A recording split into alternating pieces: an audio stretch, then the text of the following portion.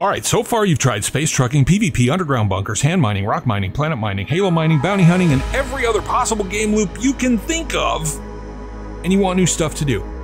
Well, the good news is 318 just hit wave 1. We can finally talk about salvaging, and that's what we're going to do in this video. Stay tuned.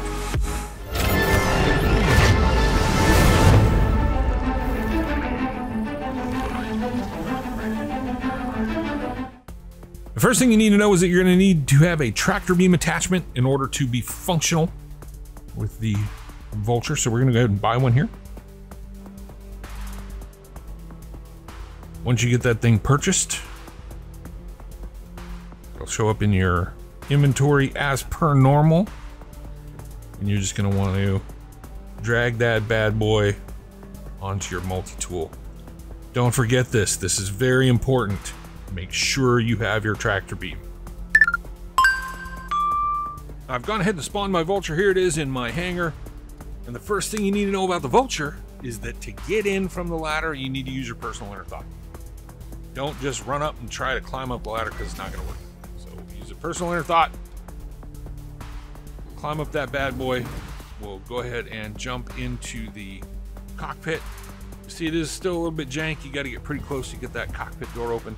From there, the process is the same with, as with any other ship, right? Request clearance, set a destination, get her powered up, get her airborne, get to where you're going. It's really, really dead simple. So I'm going to get this thing going and we'll be right back. Now here we are flying through the air with the greatest of ease, except it's not really with the greatest of ease with Vulture because the thing's kind of a pig. All right, it flies like a brick. It's very slow in Atmo. And when you try to take off, the the ass end's gonna sag, right? It, it just kind of dips. The thing doesn't like to really take off. So you gotta finesse it a little bit as you're getting airborne. And then once you get underway, you will notice that it is slow as hell in Atmo. Now, in space, does pretty well. It's fairly nimble. But when you're in Atmo, whoo, let me tell you, you're not the Thunderbirds, so don't be trying to do anything fancy. It's basically a flying diaper. All right, now that we're out in space, in an undisclosed area of the Halo, we're going to talk about scanning. Scanning's a little bit, a little different in the in the Vulture. When you scan things you're going to see a signature value, right? It's going to appear right up here in this little area. And those signatures are going to come back in either multiples of 1700 or 2000, right? So if it's multiple of 1700, that's 1700, 3400, 5100, 6800, etc., etc., it's a rock, right? If it comes back in values of 2000, it's salvage. It's a wreck or it's floating debris, whatever. So again, that's 2,000, 4,000, 6,000, 8,000. If it's in multiples of 2,000, it's salvageable. All right. So again, multiples of 1,700, it's rock. Multiples of 2,000, it's a wreck. Keep that in mind. This is very important. Now I'm going to go ahead and uh, just kind of scan around here until I find something that looks like it's useful. Right? You'll notice now that the FOV is tied directly to the size of the circle, which we manipulate using the mouse wheel. Okay. Scanning is, other than that, pretty much the same. You know, we find an object, we zoom in the little circle, get her down to 2%, give it a scan. It's to give us the diamond. But then we actually mouse over it and hold down the button and scan it proper like. And in this case, it tells us it's a P-type asteroid. Okay. Now, sometimes things still won't scan. It's a lot better than it was. And a lot of times salvage won't scan, but you know it's salvage because of the return signature value. And if it gives you that return signature value in multiples of 2000, it is salvage and it is there, right? So fly up on it and get your salvage on. I'm gonna go ahead and keep scanning until I find some salvage, and then yeah, we'll go get it. So, you know, stay tuned and stuff. Okay, we have found some goodies. So see her somewhere. I've got a signature value and a multiple of 2,000, right? So again, remember, do your do your mathies. 2,000, 4,000, 6,000, 8,000. It's to be salvage. Now I just got to find where it is. So I'm gonna do some do some scanning around. That's a rock. And one of these is gonna be our salvage. That's not it. That's too far away. Even look at that. Remember the, the 12,000 roll. It still kind of applies here. Here's something that's about 10,000 out. That's a rock. And that's a rock. And, oh, and that's goodies. See that? Multiples of 2,000? It says 14,000. There's probably seven pieces of debris floating around out there. So we're going to give them a tighter scan to kind of figure out where they're at. We'll see if any of them will actually like scan scan, which, uh, no, they're not to scan. But I know they're still there. How do I know? Because I know. Just trust me. So we're to fly up to those bad boys and get to salvaging. What do you reckon? Let's go! All right, we're flying up on the salvage now. Getting close enough that it should be visible here pretty quickly. Couple, couple K out maybe. Uh, do, do, do. All right, here's what the little icons look like. Uh, for the love of God, please do not call them paws. They look like little salvage bits. Uh, if you think those look like paws, you've been raising some crazy alien pets. So, yeah, they're not paws. Please don't call them paws. Couple of things to note. First of all, a lot of these pieces of scrap are going to have a side that looks like lattice work, like that. That's not not salvageable, right? The side that you want to be messing with is the smooth side, like this right here. This is the bit you want to be messing with, okay? So we'll get up in there.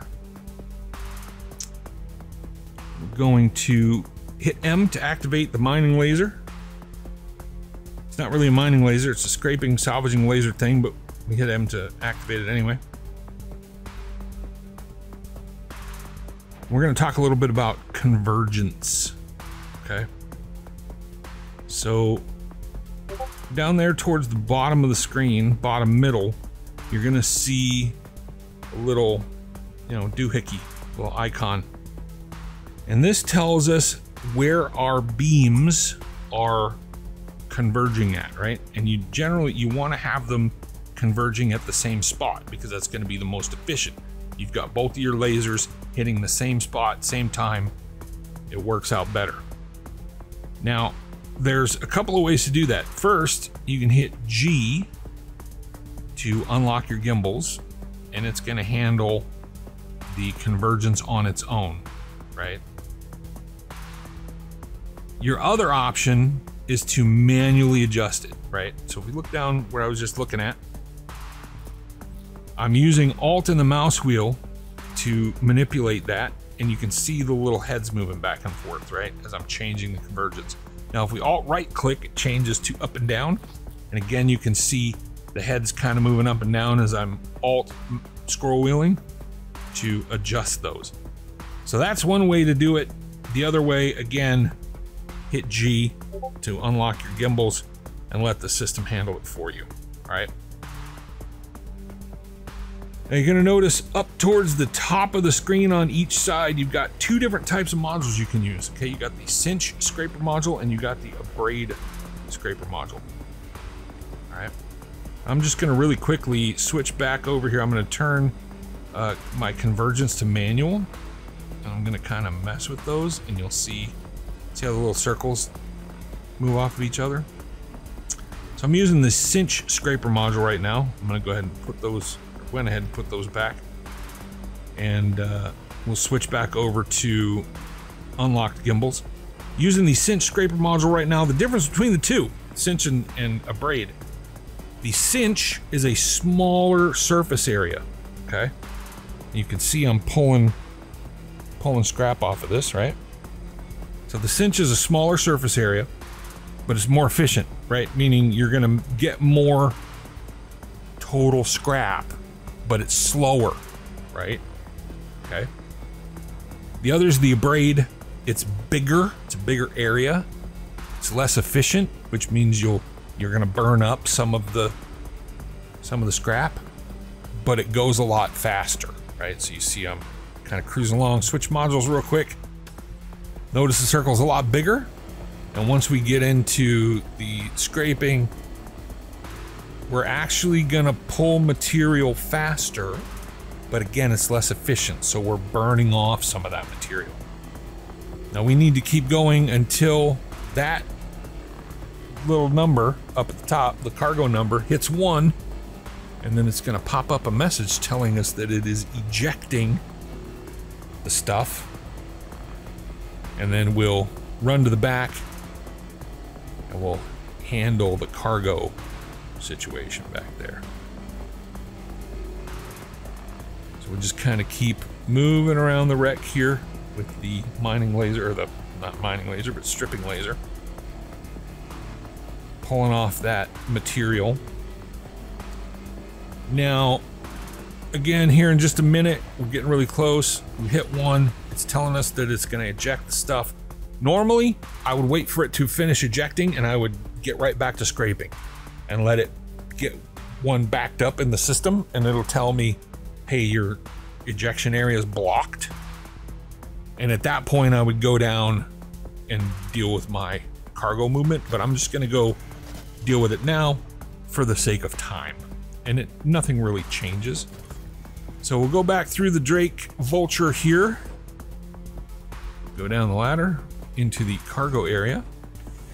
And there's the box of goodies. This stuff is, by the way, it's called RMC, Recycled Material Composite. It's good for all kinds of stuff, right? Selling, using to repair ships. We'll pull out the old tractor beam and we're going to tractor this bad mamma jamma. Start moving it towards the back. You see the little purple boxes? Those indicate areas where it will snap into the cargo grid, as it just did, okay? So that one's done, right? Now, if there was another box in the little area there, the little hopper, we would cruise up here and I don't know why I just pulled out my med pen, but we would cruise over here and we would mash the eject button, right? And that'll spit the, the next box out, right? Now we also have another little bit up here, which is um, as we get stuff in there, we can actually craft uh, a little SRT can for repairs, right? So you just click on the create tab, go over to the SRT can, and if you have material in the hopper, you click create, and it'll spit an SRT can out, which you could then attach to your multi-tool to do repairs, right? So, yeah, go back to cargo there, and that's pretty much it as far as moving the goodies. Now these boxes of stuff sell for, well, if you got a, a vulture full, which would be 12 boxes, because there's two rows of three for six, and then you can stack them too high, 12 boxes plus one in the little hopper area or in the little ejection area. Um, it's worth about 100 grand. So, you know, not bad. Now that, of course, is subject to change. It could get more or less valuable as time goes, as CIG does balancing. But yeah, 100 grand for a vulture full of stuff. It's not bad. Not bad at all. So we'll just go ahead and finish scraping this bad boy up. You'll notice the little yellow outline around the edge there. So there's been a lot of discussion around this, and look, my opinion is it's quite simple. When the outline turns yellow, it's telling you that there's not a whole lot left to scrape. You know, you're kind of getting down to it. And then it'll eventually turn red, which is basically saying, in my opinion, look, if you've just flown up on this, don't even waste your time, right? There's not enough here, not enough material here to even bother with. And this one's gonna turn red here in just a second. You'll see. Again, there's been a lot of debate about this, but in my mind, it's it makes perfect sense. There, it just turned red it, look, it's saying this thing's pretty much wasted, right? Don't bother. Don't waste your time. Okay. Easy peasy lemon squeezy. A couple other things to be aware of. One, fly up on a ship uh, a wreck, you know, floating around out there, an abandoned Hulk, if its shields are up, you can't you can't sc- scrap it. You can't salvage it. Okay. Uh, two, you cannot salvage through doors, and you cannot blast holes through the hull into the ship. All right. So, all you piratical pirate types out there, uh, go back to Pyro and Pilfer Produce. You are not going to be able to burn holes through ships and gain entry using the vulture. Okay. So that's it. That's salvage in a nutshell. Um, and yeah, I'm, I'm gonna go. I'm gonna go make some money. So y'all have some funsies. Toodles. If you like this content, don't forget to subscribe and make sure you hit that bell icon so you get notified every time new content comes out. Also, make sure you check out Hyndrosa on Twitch TV at Twitch TV slash Hyndrosa. And last but not least, we'd like to give a big shout out and warm thank you to all of our patrons over at patreon.com. Your support is absolutely amazing. Thank you all.